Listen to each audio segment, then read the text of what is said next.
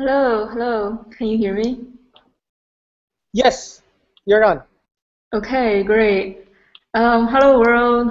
Um, from the second city. So, in case you don't know, we have a pretty vibrant um, civic tech community here, and we're working on a project called National Voter File. Um, so what it does is a data warehouse of voter files. Um, as you may or may not know, voter files cost differently depending on the states. Um, it's $500 in Illinois, 5,000 in Montana, and 32,500, which is basically one cent per voter in Arizona. And the rules for using those files vary um, among depending on the states as well.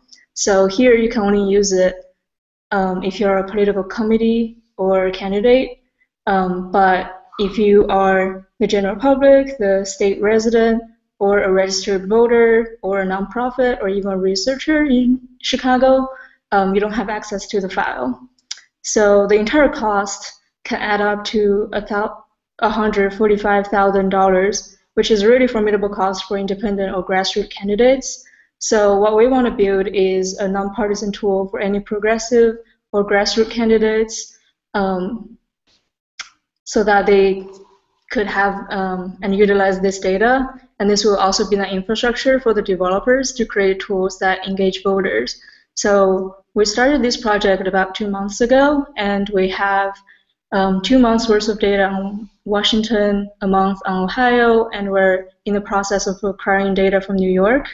So what we use is a Postgres database, um, and we use Pentaho data integration for the ETL process. And right now we're doing um, some geocoding with Python because ideally we would like to intersect those data we have with the census tract data. Uh, what we need are obviously those expertise in coding and also maybe legal expertise as well um, because this will be a lengthy process. And um, if you want to contribute, check us out at nationalvoterfile.org, uh, which leads you to our GitHub because we're in the development phase. Um, so yeah, thanks.